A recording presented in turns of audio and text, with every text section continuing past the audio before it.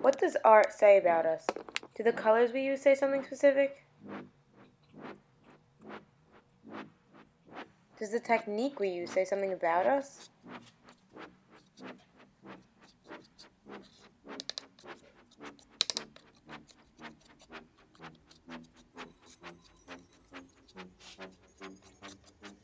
How about how much pressure we put on the pencil, or how we shade?